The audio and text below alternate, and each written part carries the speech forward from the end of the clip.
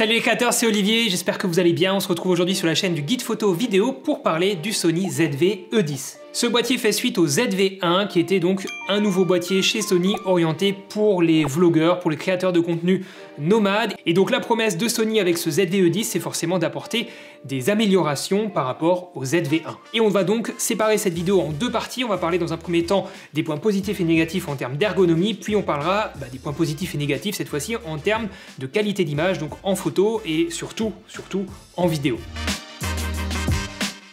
Côté ergonomie, premier point important, forcément, ce boîtier est léger et compact. Si vous l'utilisez avec son optique de kit, ici le 1650, vous pouvez partir avec seulement ce boîtier-là, qui est pas lourd du tout, qui est pas encombrant, qui rentre facilement dans un petit sac. C'était mon cas, j'avais un tout petit emplacement dans mon sac à dos.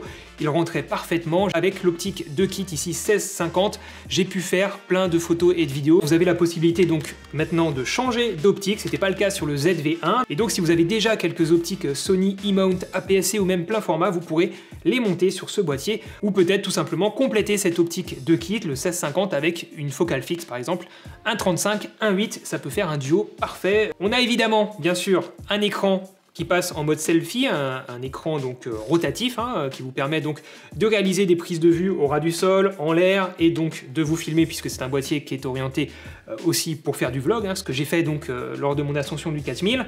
Donc cet écran, il est aussi tactile, il est relativement grand pour la taille du boîtier, on ne pouvait pas faire beaucoup plus grand, je pense, ici. On a l'apparition sur ce boîtier d'un nouveau bouton chez Sony, qui est un bouton qui vous permet de changer rapidement de mode sur le terrain. Donc on passe du mode photo au mode vidéo et au mode SNQ. Le mode SNQ, c'est le mode Slow and Quick, donc ralenti ou time-lapse, selon comment vous le configurez dans les menus. Vous appuyez une fois, vous êtes en photo, vous rappuyez, vous passez en vidéo, un cycle en fait de trois options pour passer d'un mode à l'autre de façon très rapide sur le terrain. Ça s'est avéré forcément très pratique euh, dans mon utilisation puisque je voulais faire à la fois des photos, des vidéos et des vidéos au ralenti. À l'avant du boîtier, on a un petit témoin pour juste valider le fait que le boîtier est en train de filmer. Sur l'avant du boîtier, au niveau de l'index, on a un petit bouton qui vous permet de zoomer et dézoomer si l'optique est compatible. Hein. Toujours sur le dessus du boîtier, un autre bouton a fait son apparition juste à côté du gros bouton REC rouge qu'on ne peut pas louper.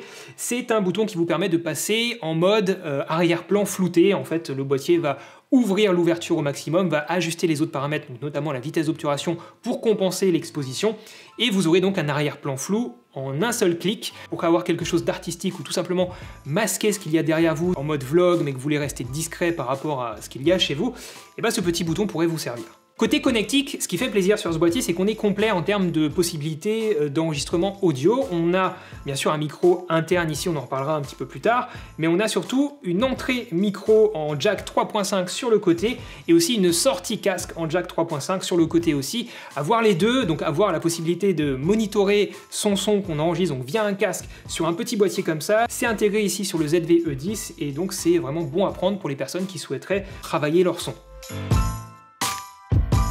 On va passer maintenant sur les points négatifs concernant l'ergonomie du boîtier. Première chose, gros regret, si vous voulez faire des photos avec, eh ben, vous n'avez pas de viseur euh, électronique, hein. on ne peut pas mettre son œil dans un petit viseur sur ce boîtier.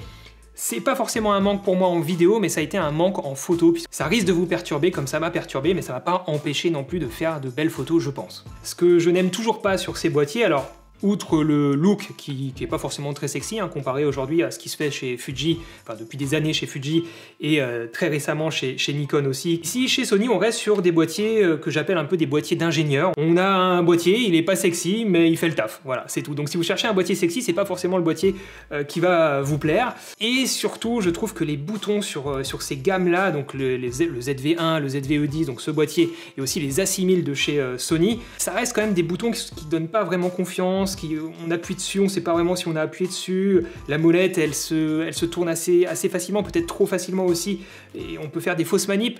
Bref, c'est une ergonomie que j'aime pas trop, on s'y fait, c'est une question d'habitude.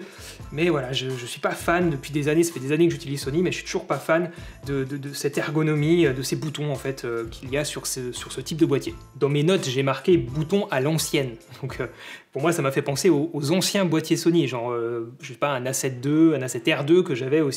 Alors que maintenant, dans la gamme Alpha, Mark III et Mark IV, on a des boutons plus robustes, qui donnent plus confiance, de meilleures molettes, etc. etc. Revenons donc au bouton mode. Je vous ai dit que j'avais quelque chose à lui reprocher quand même. Et eh ben, c'est tout simplement d'être justement un bouton poussoir qui va nous faire passer d'un mode à l'autre. Il y en a trois, parfois j'appuyais une fois de trop, surtout qu'il y a un tout petit temps de latence. Et j'aurais peut-être préféré avoir un bouton en fait avec plusieurs positions, comme en fait le bouton on-off. Euh, voilà, le mode photo, le mode vidéo et à côté le mode SNQ. Et je viens de parler de lenteur, autre petit point négatif, la lenteur au démarrage. Ça n'a pas été un grand frein pour moi sur le terrain, mais il est vrai que les boîtiers Sony ont cette mauvaise réputation d'être euh, assez lents au démarrage, et c'est aussi le cas sur le ZVE10. à peu près deux secondes quand même pour l'allumer. On va parler des, menus maintenant. On a les anciens menus de chez Sony. C'est toujours, Sony, les menus, c'est faut s'y faire. C'est une question d'habitude, donc c'est pas pas un drame, faut s'habituer. Ça reste pas forcément très bien organisé à mon sens. Heureusement, ils ont révisé ça sur les derniers boîtiers, notamment de la gamme Alpha, mais ils n'ont pas mis ces, ces, nouveaux menus dans le ZDE10, c'est un petit peu dommage. Et enfin, les deux derniers points négatifs concernant l'ergonomie, la position de la carte SD toujours dans le cul ici du boîtier à côté de la batterie. Si vous avez le boîtier sur un gimbal, si vous avez le boîtier sur un trépied, ça peut être problématique. Euh, vous ne pourrez peut-être pas ouvrir la trappe facilement. Et j'aurais peut-être préféré quand même avoir la carte SD sur le côté, c'est quand même plus pratique. Et la batterie justement, donc on est sur les euh, anciennes générations, enfin les anciennes, les, petites capacités de batterie de chez Sony, je les appelle les anciennes parce que pour moi elles devraient disparaître ces petites batteries qui n'ont pas une énorme capacité. Euh, donc voilà, ça m'a suffi, une seule batterie, mais c'est quand même pas ouf, elle se vide quand même assez rapidement. En même temps, sur un boîtier aussi petit, je comprends bien que, Sony avait pas trop le choix de mettre les petites batteries, sinon on aurait eu un boîtier plus gros et plus lourd, et j'aurais peut-être râlé aussi. Donc l'un dans l'autre, pourquoi pas, c'est peut-être au final le, meilleur choix qu'il y avait à faire. Ah, je vous ai pas parlé d'un autre truc, voilà, il n'est pas spécialement résistant à l'humidité et à la poussière, et euh, s'il commence à flotter, je vais vouloir le cacher, et ça, ça peut être un petit peu chiant. Allez, on passe au plus intéressant. Alors, je sais pas si c'est le plus intéressant, à la partie photo et vidéo, surtout vidéo, puisqu'en photo, il n'y a pas grand chose à dire. Donc en vidéo, les points positifs, déjà, bah, c'est simple, vous pouvez faire de l'Ultra HD jusqu'à 30 images par seconde, vous pouvez faire de la Full HD jusqu'à 120 images par seconde. On a une très bonne qualité d'image, on a une bonne montée en ISO, elle n'est pas exceptionnelle, mais elle est bonne. On est sur un capteur ici APS-C, contrairement au ZV1 qui avait un capteur plus petit, donc on a globalement une meilleure qualité d'image, on a 24 millions de pixels, et euh, voilà, on peut filmer en Ultra HD, en Full HD. En vidéo justement, vous pouvez euh, filmer dans plein de modes, plein de profils d'image différents, c'est la grande force de Sony, vous pouvez aussi customiser euh, ces profils d'image comme bon vous semble, comme sur les gammes plus professionnelles de la marque. Donc vous pouvez filmer en log, et vous pouvez aussi filmer en HDR via le profil HLG de chez Sony. Côté autofocus, bah, je m'attendais pas forcément à être déçu, j'ai pas été déçu en vidéo, il fonctionne très bien, en photo aussi, j'ai pas eu de problème. On a la détection des visages, des yeux, euh, des humains et des animaux, donc c'est très complet, c'est très réactif, et ça fonctionne très bien. A noter que vous n'avez plus de limitation d'enregistrement à 30 minutes. C'est pas un boîtier qui est fait pour enregistrer un spectacle pendant 4 heures, il va sans doute surchauffer, vous aurez des problèmes de batterie même si vous pouvez le brancher sur secteur. Néanmoins, vous pouvez potentiellement enregistrer par exemple une interview pendant une heure, à mon avis il fera le taf et vous n'avez pas donc cette limitation à 30 minutes, ce qui peut être très pratique. Et justement, si vous faites des lives, vous pouvez vous servir du ZVE10 comme webcam sur votre ordinateur via le port USB-C. Côté son, il est fourni avec une petite bonnette qui vient se fixer sur la griffe supérieure du boîtier. On a un nouveau module son plus performant que sur le ZV1. Pour mieux vous rendre compte de ce que ça donne, bien sûr, je vous invite à aller visionner ma vidéo de l'ascension du 4000 pour écouter euh, ma voix. J'ai pas du tout été déçu, c'était très bien. J'ai utilisé le micro interne toujours avec la bonnette dessus et euh, j'étais euh, bah, très content du son qui sortait du boîtier. En photo, j'ai vraiment pas grand chose à vous dire, il fait le taf. On est peut-être limité à un 4 millième de seconde en termes de vitesse d'obturation. J'ai pas eu besoin de faire de photos animalières, donc c'était pas trop problématique. Voilà, on a une belle rafale si vous voulez faire du sport ou encore une fois des, des animaux. Donc on va passer plutôt au point négatif, photo et vidéo et du coup il y en a un petit peu en photo quand même justement, ce premier problème, ça va être un petit manque, selon moi, de dynamique. Je dirais pas forcément décevant, mais j'aurais, euh, je pensais avoir un petit peu plus de dynamique dans les hautes lumières. Faut bien penser à sous-exposer quand même, si vous avez un soleil assez bas, ou si vous avez une scène très contrastée devant vous, si vous faites de la photo, vous connaissez ça. Et on arrive au gros point noir du boîtier quand même. Gros gros point noir, pas de stabilisation mécanique du capteur. Vous avez trois choix. Vous désactivez la stabilisation, donc vous avez uniquement de la stabilisation optique, mais elle sera pas du tout suffisante pour avoir quelque chose de correct lorsque vous marchez avec le boîtier. Je vous mets des images d'exemple, c'était une catastrophe. J'ai dû plutôt m'arrêter pour, euh, filmer en fait ce que je voulais dire, parce qu'en marchant, ça n'allait pas du tout. Bien sûr, je tenais mon boîtier à bout de bras, sans GorillaPod, sans poignée. Sony vend une poignée d'ailleurs qui est très pratique pour vlogger puisque vous avez le, rec et le zoom sur la poignée. Ça va vous permettre d'adoucir certains mouvements, d'être un petit peu plus fluide en termes de stabilisation naturelle. Ne pas avoir la stab mécanique du capteur, ça m'a donné un résultat bien dégueulasse. Deuxième option, bah, c'est d'avoir le mode standard activé. Je sais pas à quel degré il stabilise de façon numérique l'image, en tout cas, bah, vous l'avez vu, euh, c'est les images d'avant en fait. C'était pas désactivé avant, c'était en mode stabilisation standard, c'était vraiment dégueulasse. Après, vous avez la troisième option, c'est le mode actif, mais là, vous allez cropper presque x 1,5, et avec l'objectif de kit 16-50, si vous voulez vlogger, déjà à 16 mm ici sur un APS-C, c'est un équivalent à peu près 24 mm sur un plein format, donc c'est déjà assez serré, il faut bien tendre le bras. J'ai eu parfois des plans où j'avais juste, euh, enfin, je cadrais mal, en fait, je faisais pas gaffe, c'est que je tendais pas assez le bras avec le 16 mm.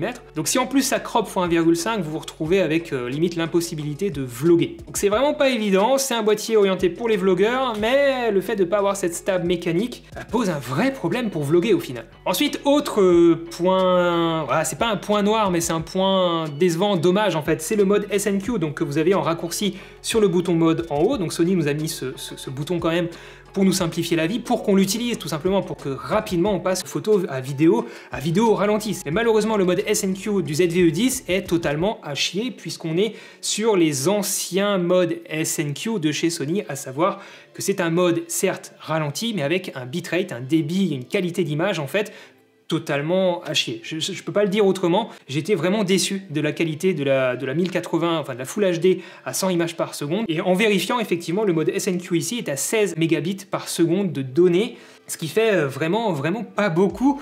Alors que si vous passez dans les menus, que vous passez en Full HD et que là vous choisissez 100 mégabits par seconde pour 100 images par seconde, vous aurez une bien meilleure qualité. Mais pour faire ça, vous devez vous-même passer donc euh, via les menus de l'Ultra HD à la Full HD 100 images par seconde. C'est pas vraiment ce que nous vendait euh, Sony avec ce, ce petit bouton raccourci en haut. Donc clairement, si vous achetez ce boîtier, sachez que vous pourrez faire de la belle Full HD 100 images par seconde, mais pas via le bouton ici de raccourci pour aller dans le mode SNQ. Et enfin, dernier point négatif, mais qui va pas forcément être un point négatif pour tout le monde, c'est le rolling shutter. Donc, lorsque vous allez faire un mouvement comme ça avec le boîtier, l'image va un petit peu se, se déformer. C'est tout simplement dû à la vitesse de lecture euh, du capteur qui est un petit peu lente. Euh, voilà, c'est pas forcément un problème, sauf si vous avez l'habitude de filmer peut-être du sport, des animaux qui vont vite, ou si vous filmez à travers euh, la fenêtre d'une voiture. Personnellement, j'ai pas eu de problème dans mon utilisation, et c'est quand même assez spécifique comme problème, mais sachez que le rolling shutter n'est pas ouf en Ultra Et il est bien meilleur en Full HD. Voilà pour ce petit récap sur le ZV10, sur mon expérience avec ce boîtier. Je l'ai quand même adoré en conclusion, hein. c'est quand même un boîtier qui a été euh, très très pratique pour moi, qui, qui, tombait au bon moment pour ce projet-là, où je devais être vraiment rapide, simple, efficace, et en même temps avoir une très bonne qualité photo et vidéo. C'est ça qu'il faut retenir, on a un boîtier polyvalent, très bon en photo et en vidéo, avec quelques points noirs, quelques points négatifs, on les a listés, mais globalement, ça reste un boîtier que je vous recommande clairement si, comme moi, vous avez parfois ce besoin d'avoir un seul petit boîtier compact, léger, pour faire, euh, pour partir, faire des aventures, pour euh, ne pas vous emmerder avec du matos trop lourd et trop encombrant. Ça fait largement le taf et le rapport qualité-prix est quand même là. Merci d'avoir suivi cette vidéo, j'espère qu'elle vous a plu. N'hésitez pas à nous dire dans les commentaires ce que vous pensez de ce boîtier, est-ce qu'il vous a séduit, est-ce qu'il ne vous a pas séduit. N'oubliez pas le petit pouce bleu qui fait toujours plaisir pour soutenir notre travail et de vous abonner si bah, le contenu qu'on propose sur la chaîne du guide photo vidéo vous plaît. Il y aura d'autres tests de matos qui arriveront petit à petit, bien sûr. A très bientôt les créateurs, merci pour votre fidélité. Ciao